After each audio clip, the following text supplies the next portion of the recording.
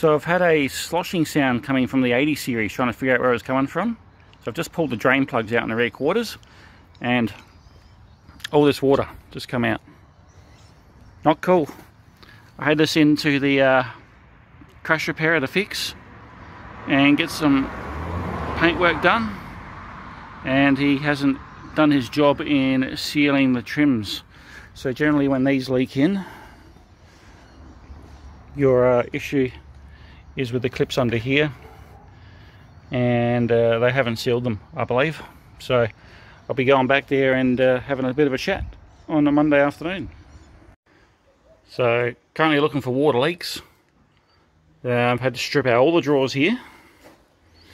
And we're going to run the hose from the top of the gutter and from up here and see if it flows in through behind this vent. Just try and work out where the water leak is on this left side before we tackle the right. There's no point pulling everything apart if you can't get into it.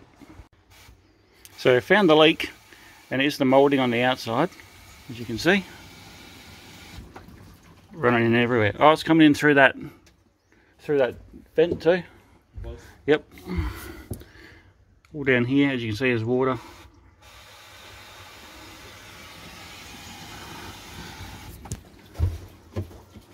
Yep. So coming in through the trim clip and through the vent. So we're going to pull everything out, seal it, and uh, hopefully have no more water in the car. So I took the vent off and the crash repair had actually silicon that on because they broke it. Um, paint's come off of that clip. That clip's actually alright. Bottom one's got no gasket on it and then the vent rubber here has been crunched up. So that's not sealing that's pulling water in. I'm probably going to pull this out as well and reseal in behind that too so. Yeah fun times. So I've discovered where the water's coming through from the vent. The uh, previous owners decided to drill a couple of merit plug sockets and go straight through the vent. And you can see daylight so I'm gonna have to seal this up with some windscreen sealant and I'll probably seal that uh, rubber flap on the other side